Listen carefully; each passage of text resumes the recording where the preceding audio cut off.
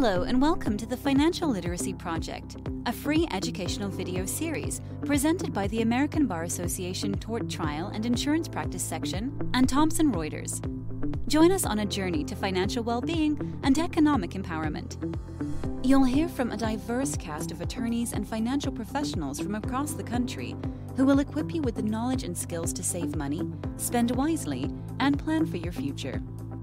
Learn about the importance of budgeting, retirement planning, reducing and managing debt, free tax return preparation services, why banking matters, things to consider when purchasing a home or buying a car, and so much more. Remember, knowledge is power, and the Financial Literacy Project seeks to empower you with the knowledge and tools necessary to achieve a state of financial well being. Visit our YouTube channel to get started on your journey today.